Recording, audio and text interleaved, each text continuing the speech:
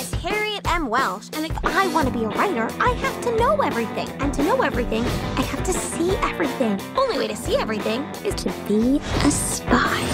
I just found the big story. I need both of you to help me. Oh, we're in. You just gotta know where to look. For something this daring, rules would have to be broken. If Mr. Horatio finds out you wandered off, your future will be in detention. So you better cover for me. Doomed!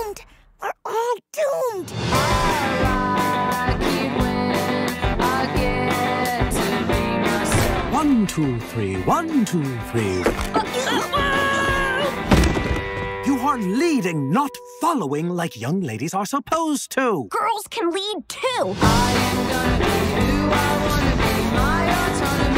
If a story leads, you follow. I totally bit the biscuit on my mission. You've got to start looking out for people besides yourself.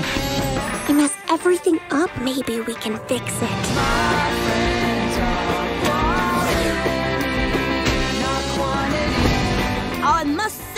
Bean, your mustache looks positively dashing. Thank you, good sir. It took ever so long to grow. This is a revolution!